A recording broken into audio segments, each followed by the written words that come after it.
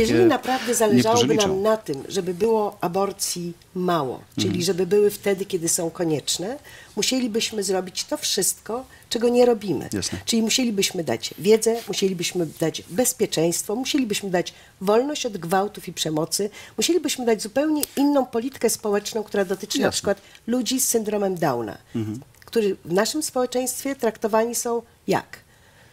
Nie jest to grupa, która może tak naprawdę korzystać z pełni potencjału, który posiada. Osoby z syndromem Downa gdzie indziej kończą studia, gdzie indziej pracują w urzędach, gdzie indziej mają pełnię normalnego życia. U nas tego nie ma.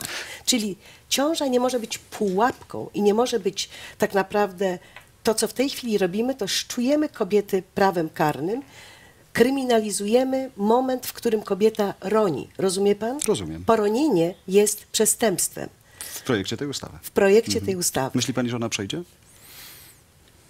Zobaczymy. Ja nie wiem.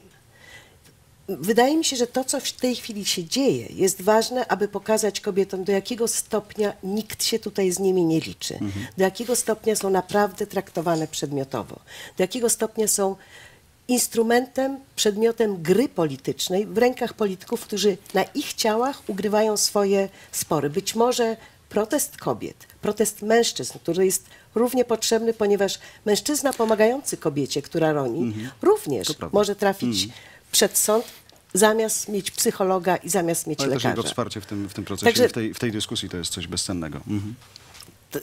Także trzeba zdać, tylko dla mnie jest strasznie ważne, żeby się nie ograniczać tylko i wyłącznie Do do, mówienia o prawda, aborcji, pani rację. bo jest tutaj Ale też dużo dlatego więcej. chciałem z panią rano porozmawiać, żebyśmy jakkolwiek znaleźli kontekst szerszy niż najprostszy e, zabijanie nienarodzonych. Koniec kropka, bo czasem tak to jest przedstawiane. Dziękuję pani profesor. Dziękuję również.